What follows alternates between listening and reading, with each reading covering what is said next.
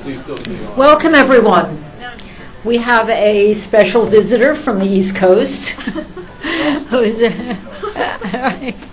who's a colleague of one of our professors, Jesse Fann, who's with psychiatry and uh, the, also an adjunct professor in the Department of Rehab. And uh, Jesse, whom you probably, most of you know, uh, will be introducing uh, Dr. Tessa Hart. So, Jesse, Dr. Hart. Thank you, Sharon. Uh, it's really a, a, great pleasure for me to introduce close friend and colleague and collaborator uh, for many years now, and as well as with many of our other University of Washington faculty involved with traumatic brain injury research. Um, and uh, we're very lucky to have her. Uh, Dr. Hart is um, a, an institution, uh, not institutionalized, but institution scientist and uh, director of the Traumatic Brain Injury uh, Clinical Research uh, Laboratory at Moss Rehabilitation Research Institute in uh, Pennsylvania, and also a research professor at Jefferson Medical College.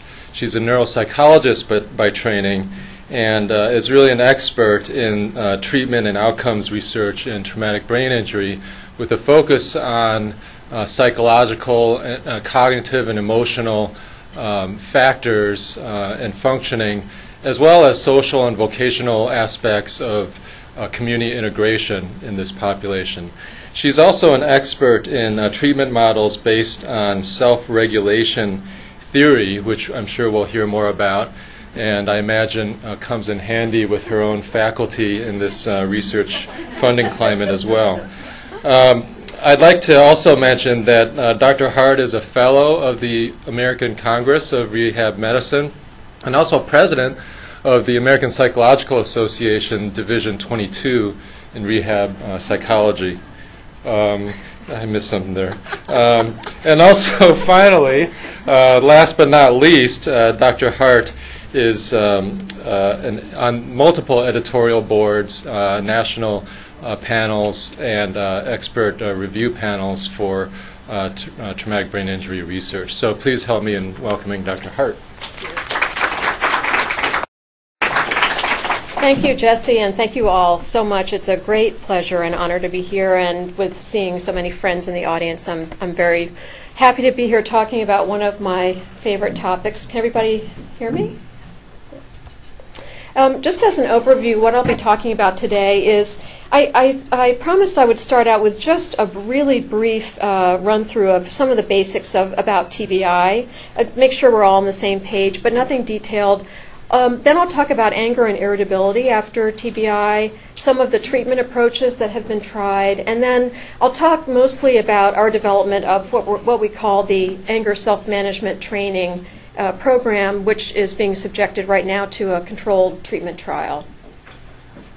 I want to acknowledge um, uh, the funding by the uh, NIH, specifically NCMRR, and um, several people who are involved in this work. Um, Roland Maiuro is our anger expert who is here in Seattle and directs uh, uh, anger management, domestic violence, and workplace conflict programs. Um, you can see the people here who are involved from uh, right here at UW, including Jesse, uh, Dr. Joanne Brockway, who's here, Dr. Sureyya Dikmen, who's here, and Dr. Nancy Temkin, as well as colleagues at Moss and Craig Hospital, which is a clinical site in the trial and also serves as the data coordinating center. Many other people are involved. I didn't have enough room on this slide to put all the names up, but it's, it's a wonderful team effort. Well, as promised, I'm starting off with just a little bit about TBI. I'll go just very quickly through these. I, I know most of you are familiar with this. The, the CDC defines TBI as a bump, blow, or jolt to the head. That's a closed head injury or a penetrating head injury that disrupts the normal function of the brain. And the, the damage can be caused by a number of external mechanical forces, Falls are actually now the number one cause in the U.S. It had been motor vehicle crashes for a, a, quite a long time. Um, and there you can see all the other different ways that you can damage your brain, including uh, blast injuries, which have gotten much more attention recently because of uh, military injuries. Um, there are basically two types of mechanical forces that can damage the brain. In TBI, One is translational forces. Those are the um, kind of back and forth or side to side motions that the, where the brain is uh, bouncing against the skull side to side, and uh, this causes bruising, uh, particularly in the anterior parts of the brain, orbitofrontal and anterior temporal. And this is because of the way um, our skulls are, are created. So the, the brain bouncing back and forth over the, these bony surfaces concentrates contusions in the anterior part of the brain, as you can see, uh, un- the of the temporal and frontal lobes, um, and the uh, also the lateral surfaces, but especially the orbital and medial surfaces, or orbital and ventral surfaces.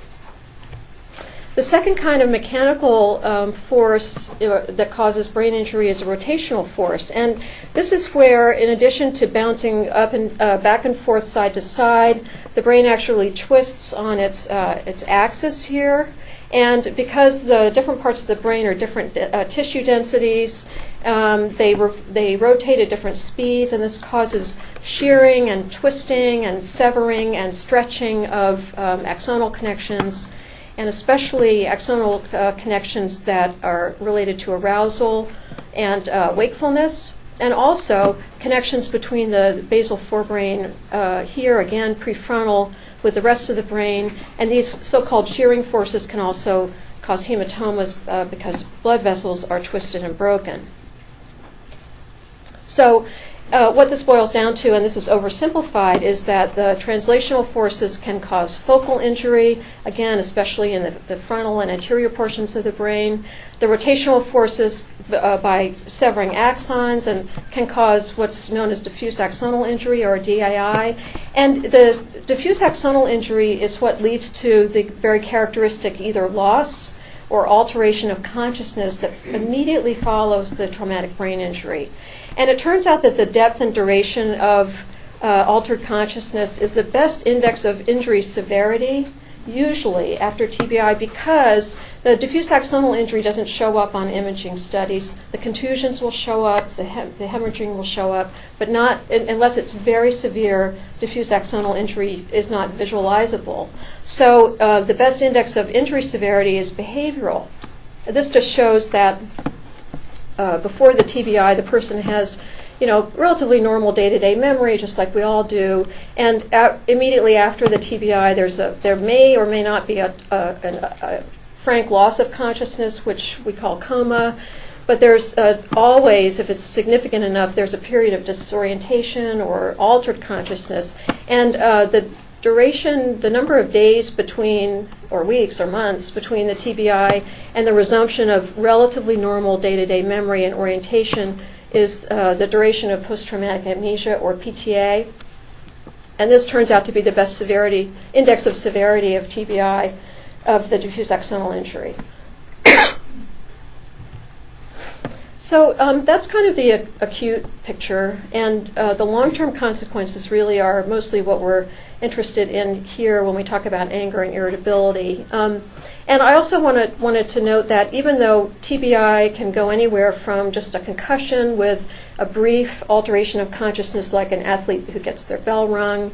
Um, mostly what I'm going to be talking about is a program that we apply to moderate to severe TBI, which is a TBI that's more than a concussive injury. It's more severe than concussion. And in a very general metric, we're talking about people who've lost consciousness for more than half an hour, or they have altered consciousness for more than uh, 24 hours, and um, and they may have positive findings on uh, imaging. So we're not talking about concussive injury for the for the remainder of the talk. Um, and in fact, most of the patients we work with in, in anger management in this program have uh, TBI that's much more severe than concussion, and, and I'll, I'll get back to that later. Anyway, these patients who have significant brain injury um, recover, but they are often left with long standing deficits, and the deficits, because the injury is kind of a patchy injury, uh, the deficits are, are quite varied. They can have physical problems, or they may not have any physical problems at all. Uh, they often, all, very often, have cognitive, long-standing cognitive difficulties, and they have problems with emotional function. And um, these uh, deficits contribute to very widespread limitations, well documented in return to work, school, social relationships, and quality of life. And uh, we became interested in anger and irritability because no matter what other deficits are, are present, these are very significant problems for many, many people with TBI. So we decided to try to do something about this. Um, here's a few just little factoids about why it's uh, a significant problem. It's a very frequent complaint, and all the studies differ, of course, by samples and you know uh, acuity and all this stuff. But across studi- studies, you find this as a complaint in a quarter to a third of people who survive a significant TBI. That's really a lot of people.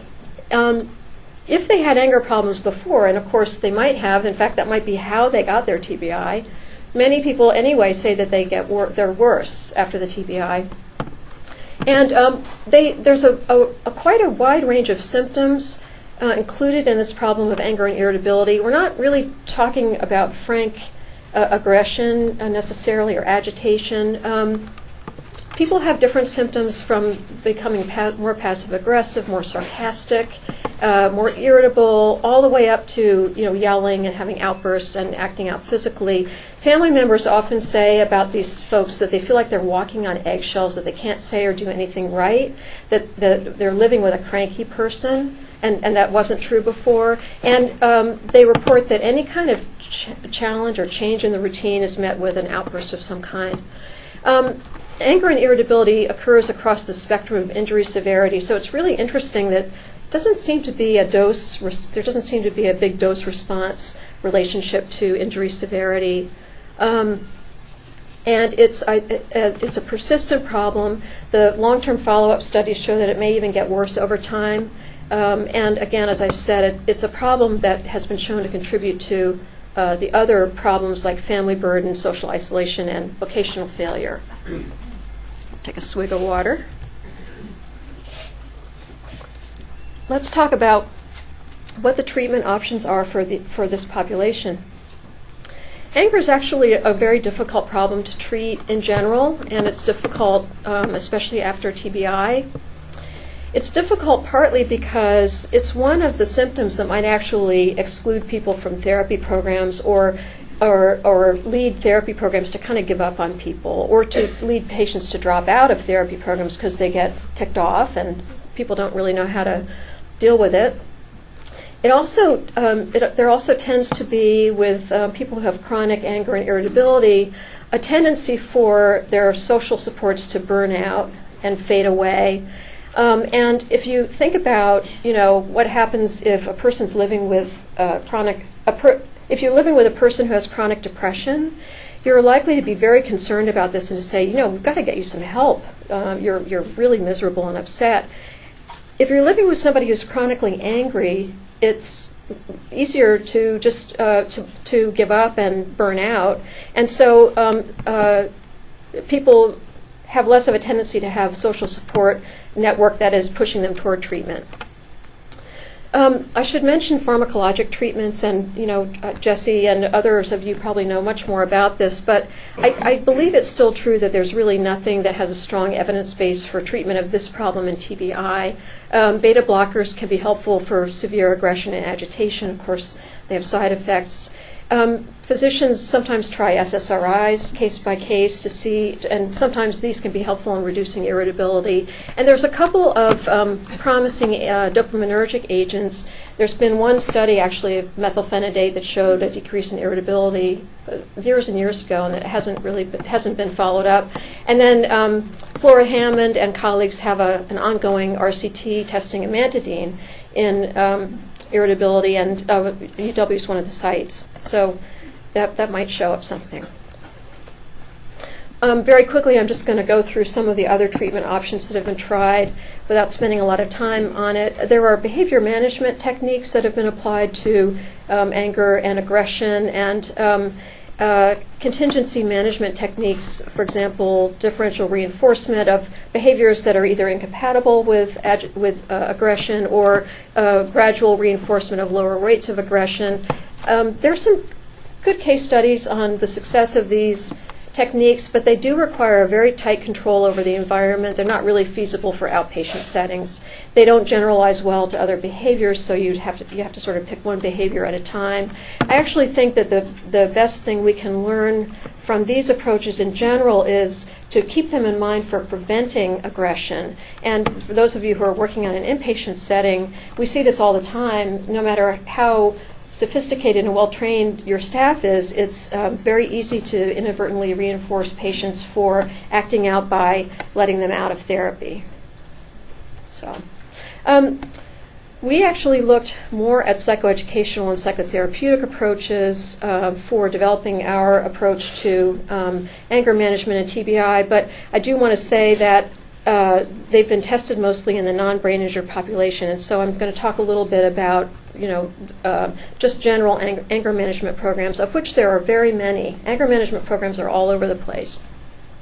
Most of them are based on this original um, model of, called stress inoculation training, uh, which was originally developed for anxiety treatment and has evolved into a more general approach and um, was, has been used for anger management. It's basically a cognitive behavioral approach. You teach the person how to identify triggers, self statements to help relax. Don't take, take things so personally. Funny, that doesn't work for me usually, but it could work for you.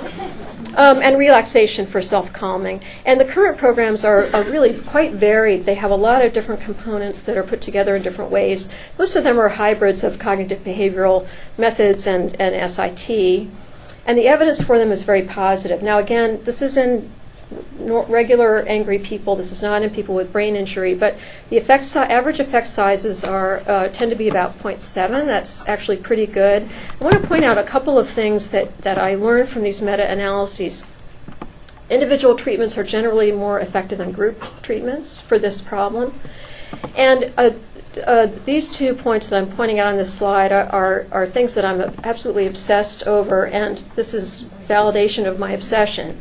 Treatments using a manual, one of my obsessions, some of you know, have about twice the effect size of ones that don't in, in these meta analyses. And treatments that use fidelity checks, I'm looking at Dr. Brockway because she's our fidelity checker, have three times the effect size of those that don't. I rest my case. so the question now is will, will this type of model work for brain injury? And um, the question is will the advantages of CBT ish approaches work for people who have cognitive difficulties? That is the big question.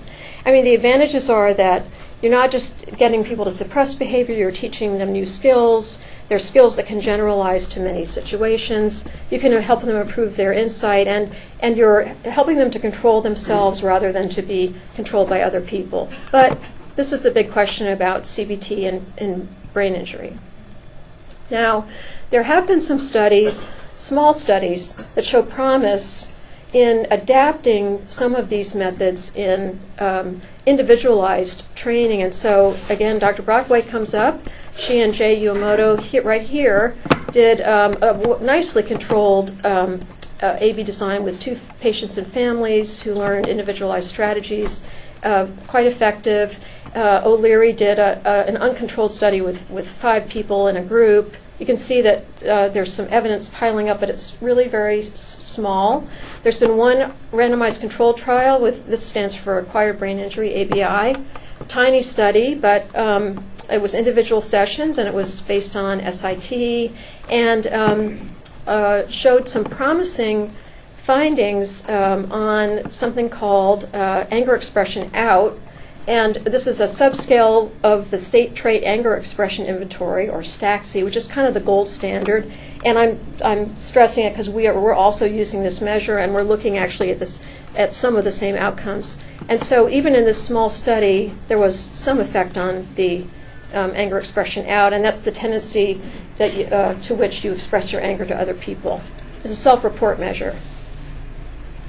Um, there was one other study that was published recently. In fact, uh, after we developed our program, this this came out, and it was it's a group treatment and uh, a large N, but no control. And what they did was they just collected a clinical case series over eight years, doing the group over and over. But again, um, showed improvement on the same um, uh, measure.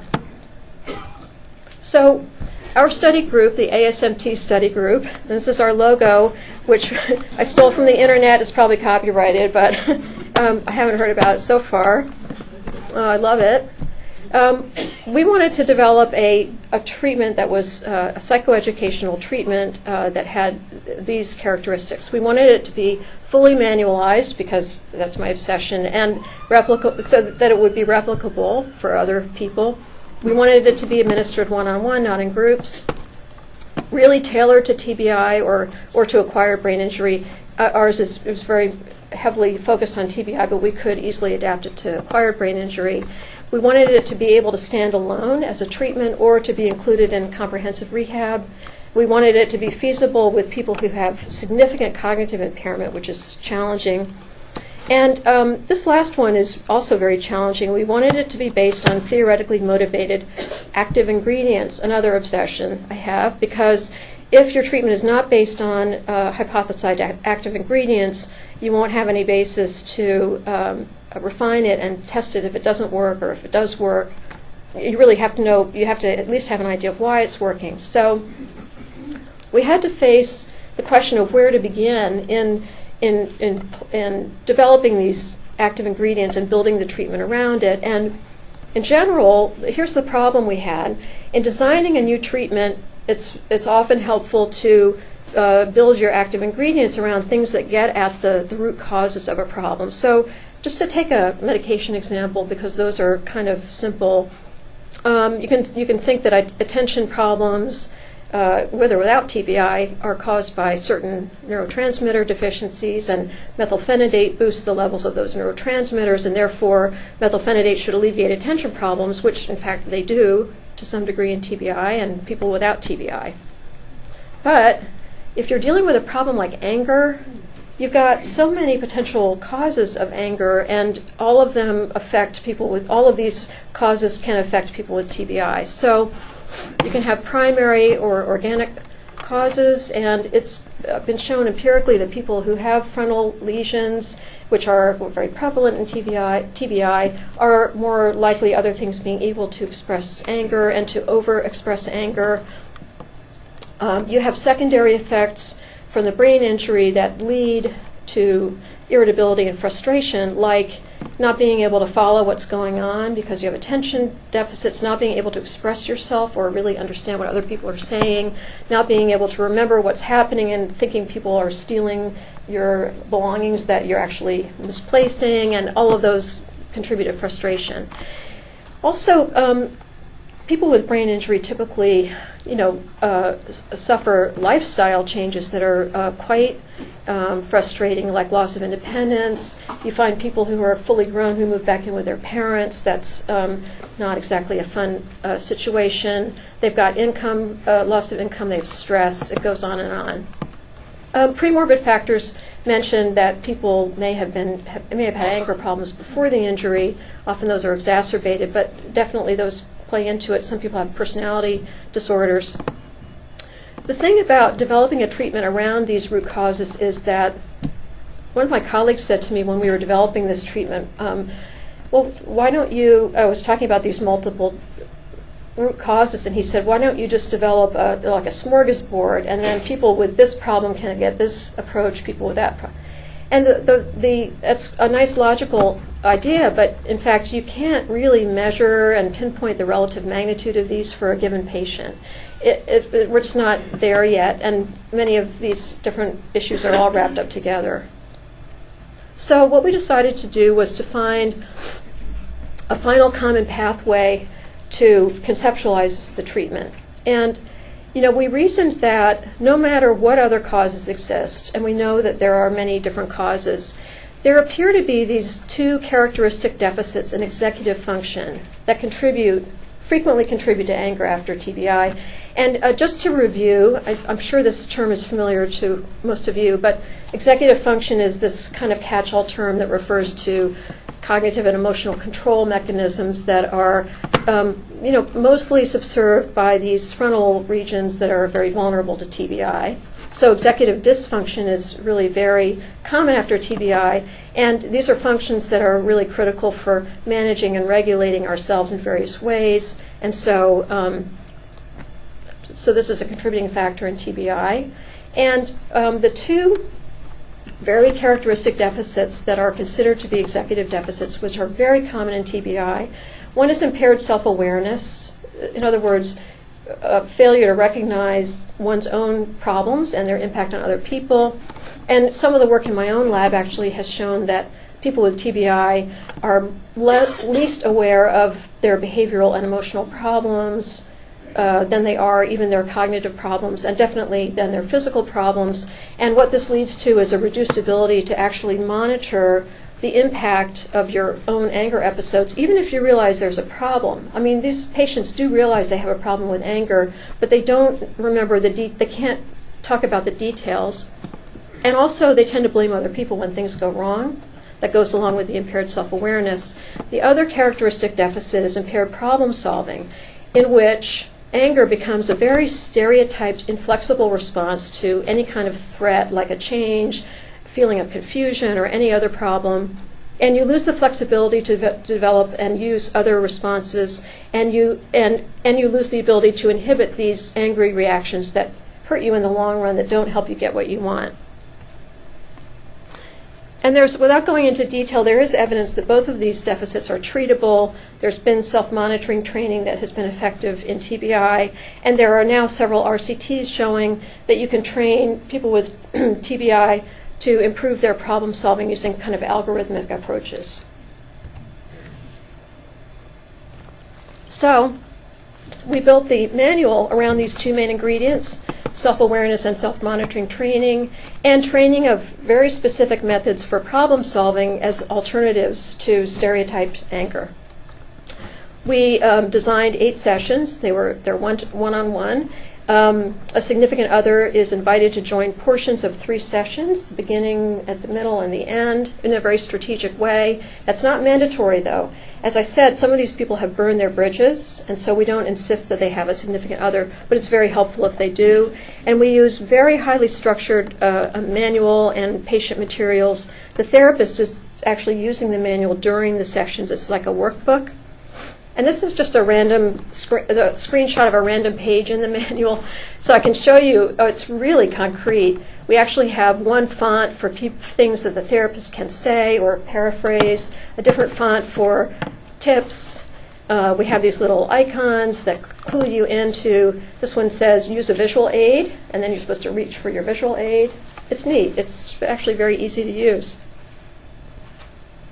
Um, I also want to mention the core clinical concepts that are just embedded in the entire program. These are really important, and these are these are attitudinal things that the therapist conveys all the time, even while they're going through this highly structured content. So, you guys know this better than I do, but um, the first thing is that they have to understand is that anger is normal. It's essential. We are not asking anybody here to give up their anger. If we did so, they would be incredibly threatened. They would not feel it's their defense mechanism, and it's it's our defense mechanism too. They wouldn't feel safe. So you know, we we emphasize that learning how to manage anger doesn't mean suppressing it, doesn't mean giving it up. Um, we also emphasize that anger almost never occurs by itself. It comes in a complex of other feelings. And so, uh, an attitude or an approach that really permeates the entire program is that patients learn how to identify these other feelings and give voice to them instead of giving voice to their anger. They identify what else they're feeling and learn how to how to give voice to these other feelings. So people with TBI go through life basically feeling one down. They've lost power, they're confused, they feel stupid, they feel demeaned, um, and part of it, part of um, their recognition of, of these feelings and their developing willingness to tell other people instead of screaming at other people to say, "I'm confused. Can we go over that again?" Or you know, I I feel. Um, I'm, I'm sad. I'm sad when this and that happens to me. They gain sympathy from other people rather than driving them away, and, and that's part of their learning uh, to increase the repertoire of their responses to threat. It's not easy, mind you.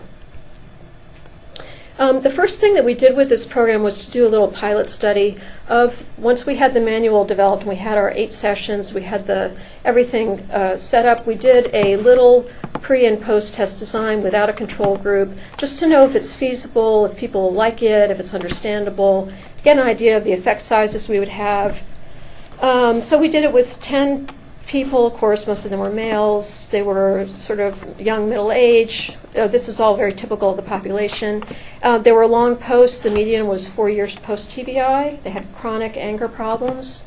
Um, I, I told you about post traumatic amnesia. They had a median 51 days spent in this, this uh, confusional state. It's a very severe TBI. The shortest PTA was 11 days. They had severe cognitive deficits. We really wanted to push. They, they couldn't be amnesic from day to day, obviously, but a lot of them had really severe memory problems.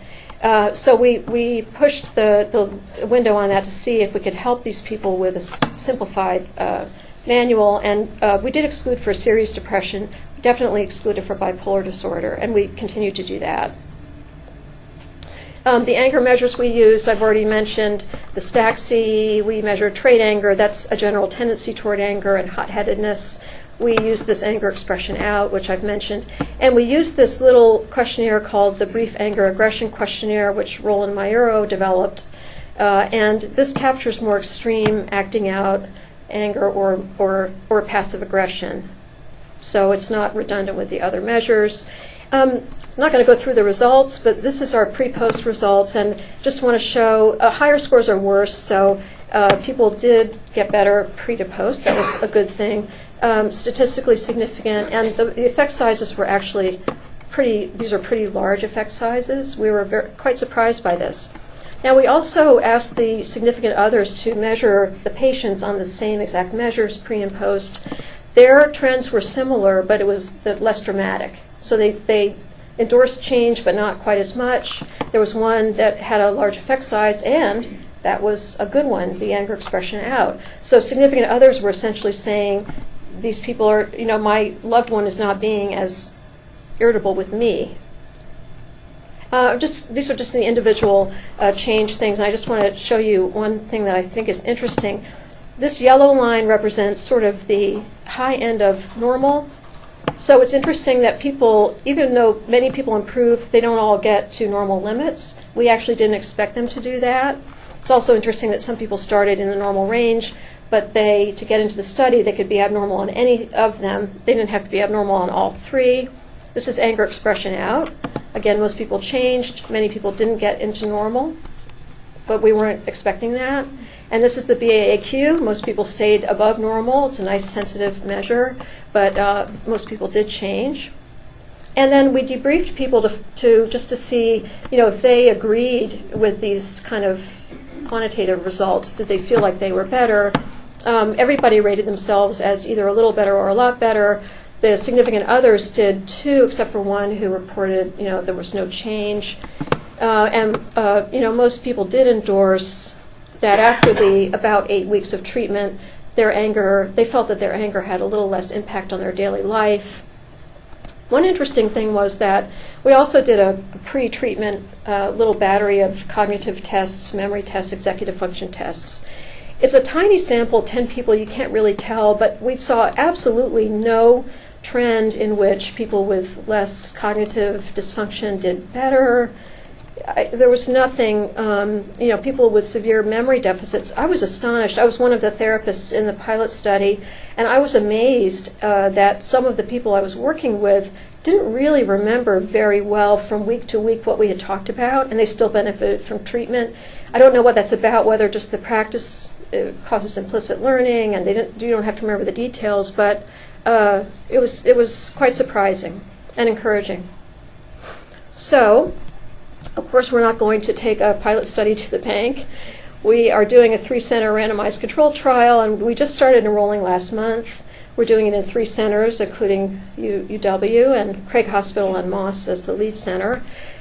So you know, we're, we're, we're using more people. We're shooting for 99 people. 66 of them will be in the anger self-management uh, protocol that we designed. And the other 33 will be in a control treatment that we wrote for this, for this trial called Personal Readjustment and Education. It sounds like a sounds like a Mao Zedong thing, but it's it's actually based on the idea that people with TBI and their family members really don't know what to expect, and you can help them by giving them structured information about brain injury and its consequences. And so, um, and, and give them an opportunity to ventilate and use their own uh, coping mechanisms without getting a lot of direction. So, we actually um, made this therapy structurally equivalent to the ASMT, which means same number of sessions, approximately same length of time, given therapist attention, same kinds of uh, practice assignments, uh, I mean, different assignments, but same uh, level of expectation for things that you'll do outside of therapy, same involvement of a significant other, same everything, fully manualized, completely written up in the same exact style as the other manual.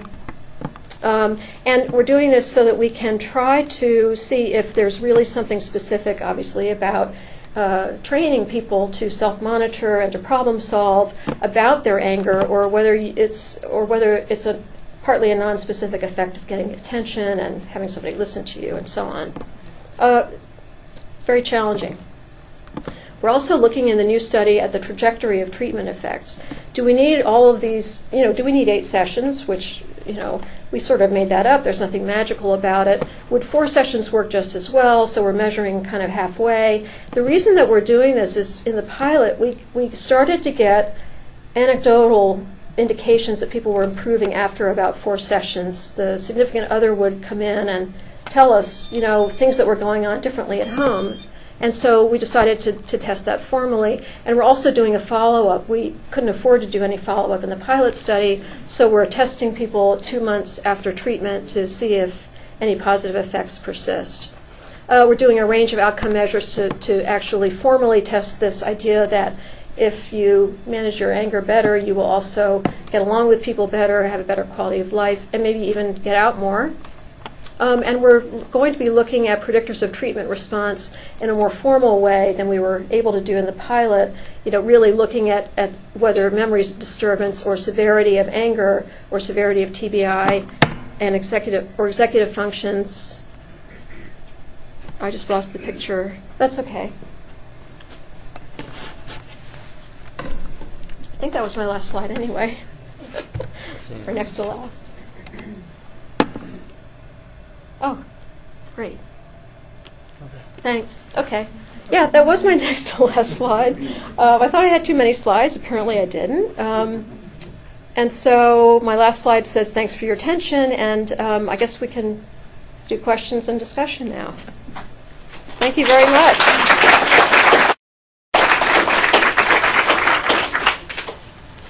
Um, I think I'm supposed to. I'm supposed to do escape and minimize. Okay.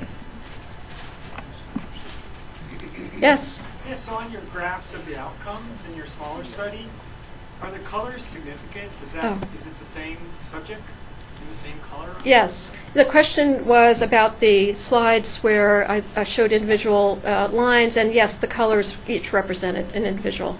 So was the one there was one subject that actually got worse during that time? Mhm. Was that the self the report from the significant other too that they got worse, or was it one that the significant other better? Um, can I go back to the slides, or do I need to keep? I can. Uh, okay. on Uh, the first measure, there was yeah. one that got a lot that actually got yes. Yeah. Yes. Um, okay. The I, this is self-report. So this is somebody who I don't know if this is significantly worse or not, but the, you're right. There is one. You're very attentive. there, there is one individual line that goes in the opposite direction. But let's look at his or her. Okay, so that was the only. It was. It could have been a fluke, and I actually don't have. Uh, I don't have the uh, significant other data with me, so I don't know whether they agreed with that or not. Other questions? Yes. In one of your studies, I believe, of of was one the control. Is that right? You had a waitlist condition as a control. Uh, the question is, did, have I used a waitlist condition? I have not, actually. It was. I, I just, I thought there was one of, one of the control situations where people being on a waitlist. Yeah.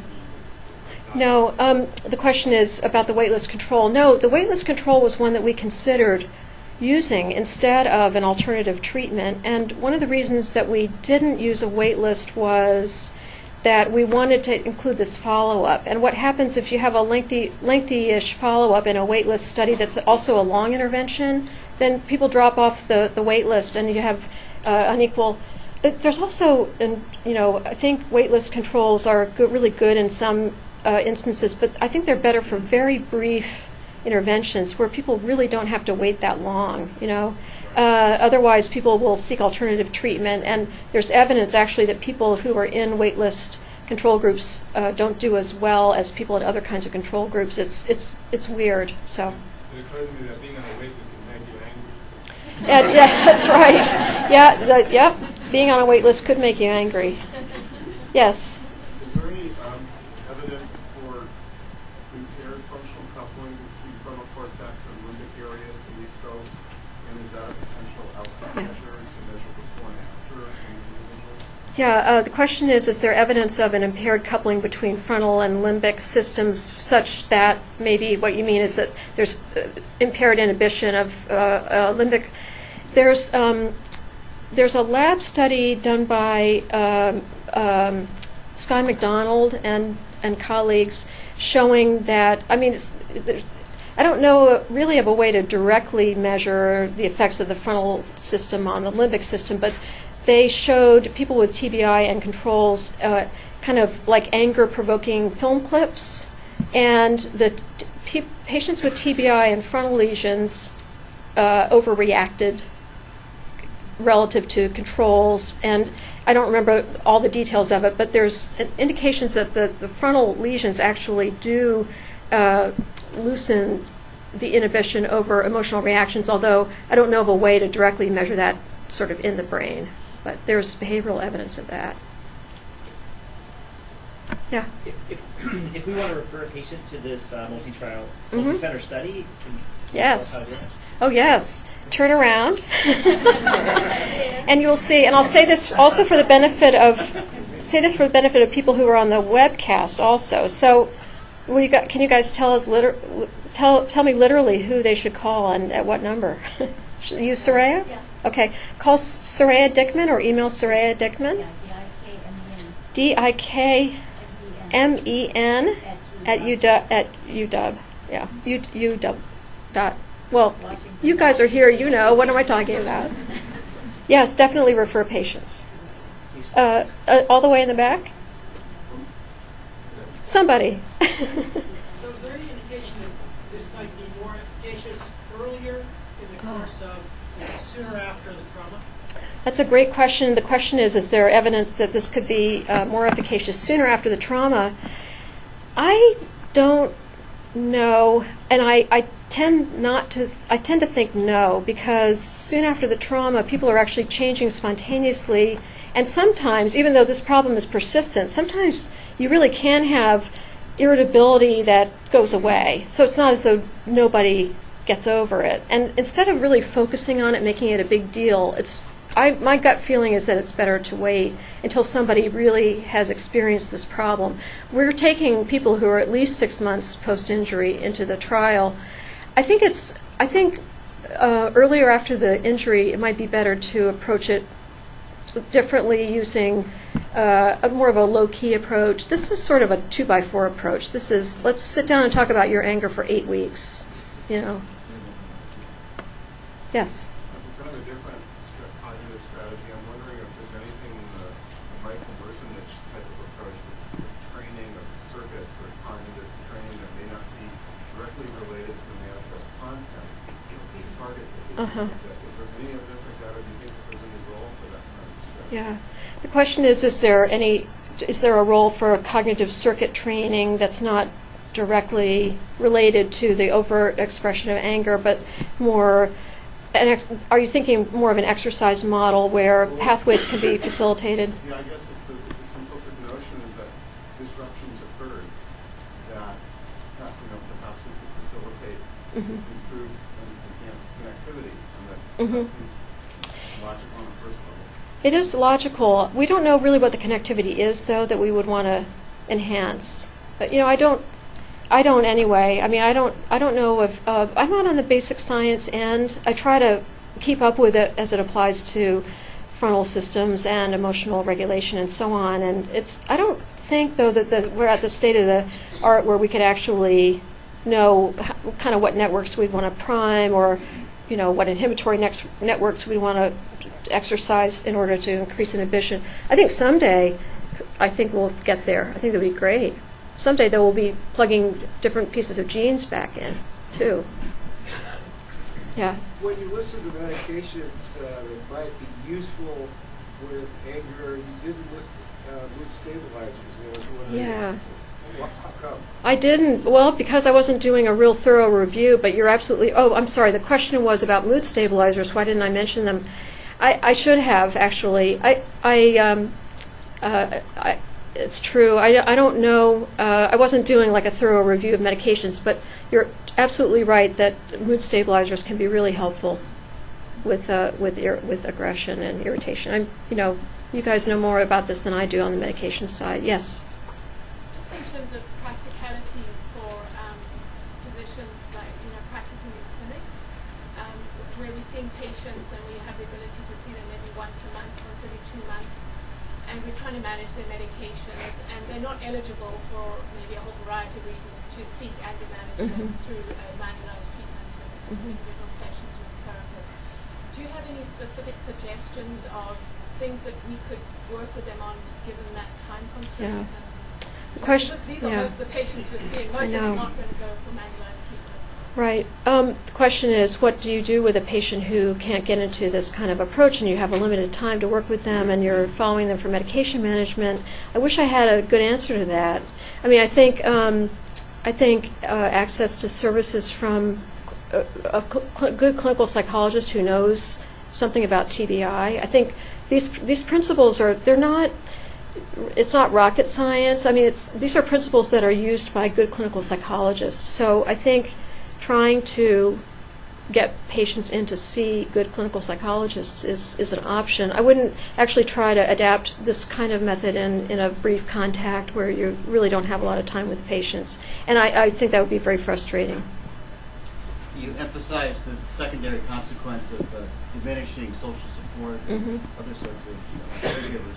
What, has anybody looked at getting caregiver support as, a, as an intervention here help manage the, the Yeah, the question is about caregiver support to help manage the behavior. The, I mean, uh, Joanne Brockway in her study, she's right over there, did do caregiver training, and it, it is a, it is effective. Um, we include the significant others in this in this um, uh, protocol, but we don't actually train we don't actually train them. But there there have been studies where caregivers are trained. Um, the biggest I think the biggest thing for caregivers to learn is how to is antecedent management. You know, uh, you, you hear a lot in behavior modification and behavior management strategies about managing consequences. Well, for brain injury, it's more effective to manage antecedents. So caregivers can and should learn, you know, what kinds of conditions really set off this problem and avoid those situations. It, it's really not productive actually to talk with somebody about their anger or to get them involved in a discussion when they're angry. Just analyze the situations that make you know that cause problems and try to work around them is the best caregiver training. But but they and they do need support. But actually learning how to manage the situation and reduce the anger is is, is the best reward for the caregiver. which may be something that the, the providers and clinics, as you just described, who don't have access to be working. Yes, that's a good point. Other questions, discussion? Thank you very much. Oh, one more? Just kind of a basic science question, a little bit. Uh-oh. The same thing. Basic science. In theory, the same methods work for people who have TBI versus those who do not have TBI. Mhm. Does that suggest that it's not really a, a lesion that you're looking at from TBI, but something else? Well, the question is, the same methods or similar methods work in people with and without TBI, and does that suggest That there's That- really no lesion. that there's no lesion. TBI that's causing anger. Yeah. It's the same thing Yeah. that's causing anger in other folks. Right. Or you could say it's the same lesion in other folks too. Right. Yeah, it's interesting. It's, I mean, there may be a continuum of, th- think about the people you know uh, for a minute, let alone, let alone TB, let alone TBI. Well, um, the thing is that executive functions, which include control over anger and other emotions, self-regulation, are the most evolved functions of the brain.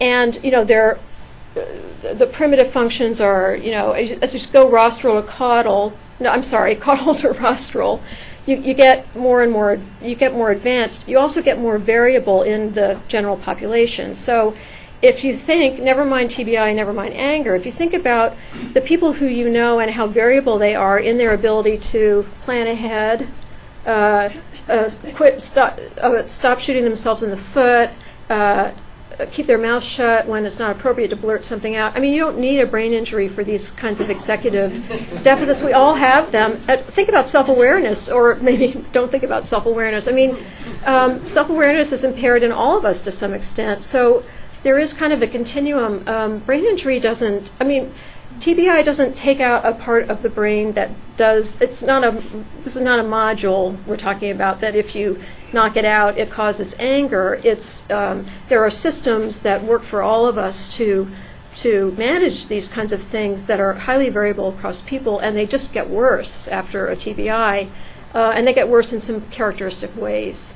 So we're not really trying to fix a lesion. We can't do that anyway. We're looking for, you know, a cluster of um, uh, causes for some of these symptoms that people really can learn how to manage.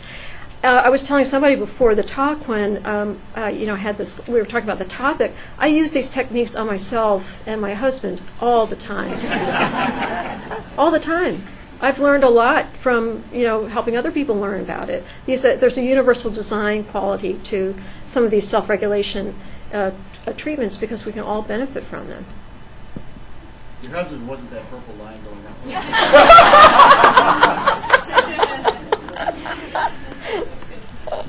Thank you. Thank you very much. Thank you, Dr. Hart. That was a wonderful talk. Thank you. Folks, as you're going out, if you haven't had your flu shot yet, you can go down the hall and get your flu shot. No waiting right now. Get protected. So you've, you've heard a great lecture and will get a flu shot.